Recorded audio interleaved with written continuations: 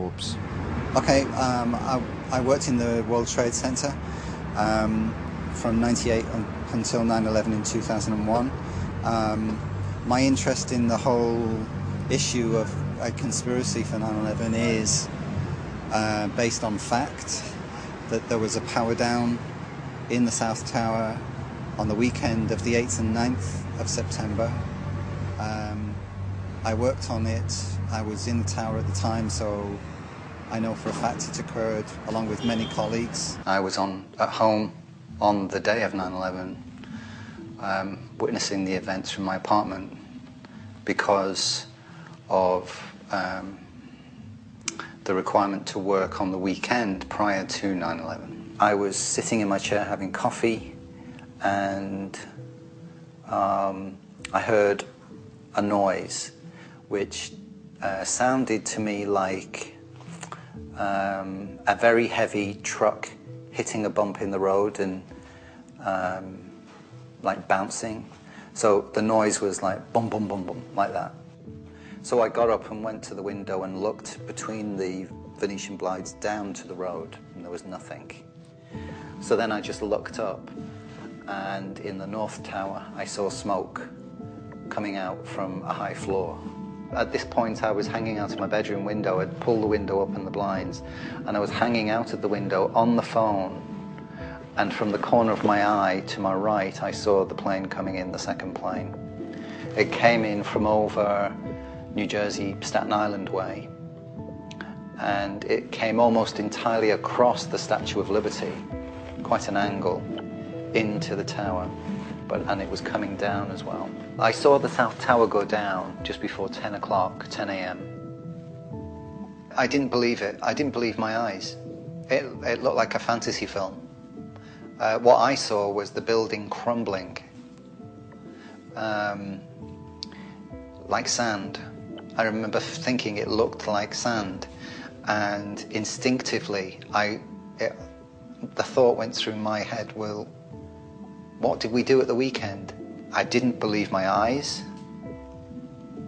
and I didn't understand it either.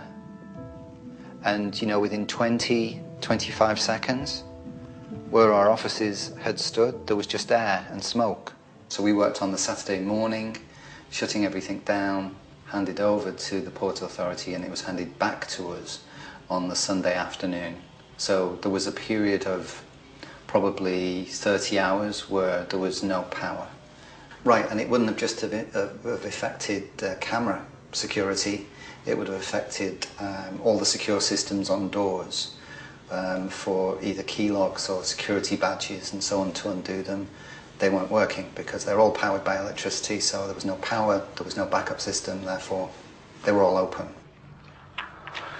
How does it make you feel looking at those photos?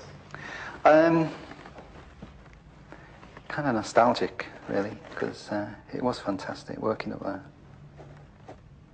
I mean, you were working, but then you could just turn around look out the window, and there was always something new going going on every day. So um, it was quite uh, an experience.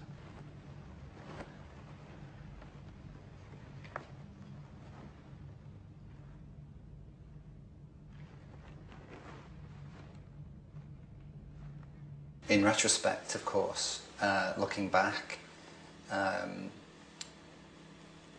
uh, you think about everything that went on. Uh, the, the fact of the power down in itself was unusual. Um, the fact that there were visitors to the tower, many in overalls, um, like engineers of some kind, uh, wandering around the floors, uh, carrying toolboxes and cables and so on. At the time, didn't think, wasn't suspicious of it, didn't think anything of it. I guess my big thing is I'm not a conspiracy theorist. I don't like to be labelled like that. The information that I want acknowledged is factual, plain and simple. Um, so, you know, there's no, I don't have any clarion call for anybody. I just want the uh, truth to be um, acknowledged and explained. When I tried to register the information uh, with the 9 11 Commission thereafter. And when I pursued it with the Port Authority to acknowledge it, and the information was not um, registered by the 9 11 Commission, and it was not acknowledged by the Port Authority and is now denied by the Port Authority. The, the power down took place. Islamic extremists